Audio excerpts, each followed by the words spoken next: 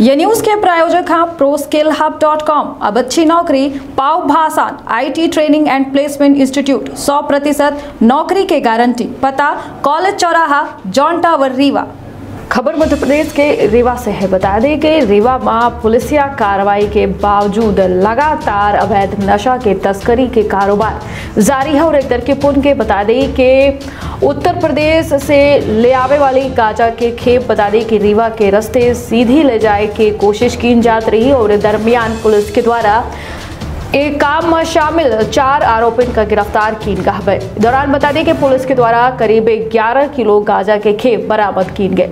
तो विदेश क्षेत्र के पहल बघेली न्यूज़ चैनल महापूजा अपना पंचे सभी जनन का प्रणाम कही थे शुरू करी थे बड़ी कार्रवाई से बता दें कि रीवा में करीब एक लाख रुपया की कीमत के 11 किलो गांजा पुलिस के द्वारा जब्त की किन है। पुलिस के मुताबिक उत्तर प्रदेश के तस्कर रीवा के रस्ते सीधी जो रही नशा की अवैध खेप ले जाते रहे और यही बीच मुखबिर के द्वारा बता दी कि जानकारी पुलिस को दे दी गए जहाँ पुलिस के द्वारा बता दें कि घेराबंदी के संदिग्ध बुलेरो वाहन का तलाशी लीन गए, जहाँ चार तस्कर 10 किलोग्राम 980 ग्राम गांजा के साथ पकड़े गए।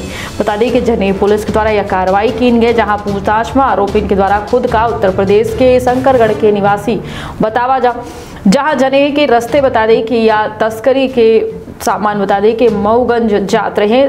कमरजी हुए के बता दी कि इनका सीधी जाय कर रहा। हालाँकि के पहले जो है पुलिस के हथे गिरोह के सदस्य चढ़ गए। उत्तर प्रदेश के दो तस्करन का गिरफ़्तार करके कोर्ट में पेश कर दिन का है। के साथ सीधी जिला के बता दें कि दो तस्कर घलाए गिरफ़्तार किन गए हम जनई थाना प्रभारी उप निरीक्षक अनुराग अवस्थी के मुताबिक सोमवार रात करीब ग्यारह बजे मुखबिर के द्वारा जानकारी दी गई रही, जहाँ बुलेरो एम पी तिरपन सी एम चौवालीस पैंसठ में तस्करी के जानकारी दी गई बता दी कि ज़रिए पुलिस के द्वारा बुलेरो कार से चार तस्करन का बाहर निकाला गया। क्रमशः आरोपी के नाम, जो है, अभिलाष तिवारी, उम्र 30 साल, पुत्र चंद्रमणि और 30 साल के बबलू रावत, पुत्र सीताराम। दोनों बता दी कि पटपरा सीधी के रहने वाले अही कमरजी थाना क्षेत्र के। तो वहीं युवराज सिंह, पुत्र अरविंद, चौबीस साल के और हिमांशु सिंह, पुत्र पिंटू, बाईस साल के दोनों निवासी बड़ोखर थाना, कुराव, जिला उत्तर प्रदेश के।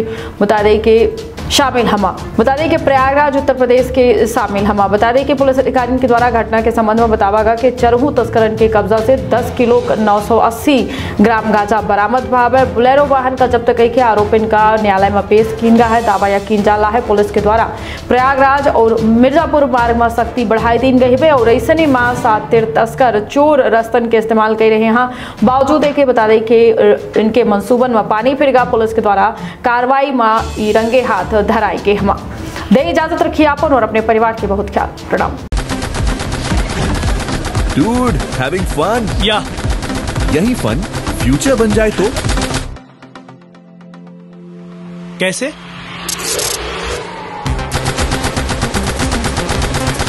ज्वाइन करो अरीना गेमिंग इंडिया का लीडिंग इंस्टीट्यूट और बनाओ अपना फ्यूचर गेम डिज़ाइन में जहाँ लाखों प्रोफेशनल्स के डिमांड है।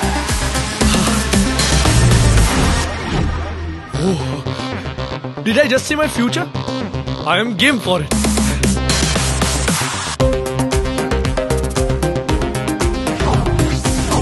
Arena Gaming. Are you game for it?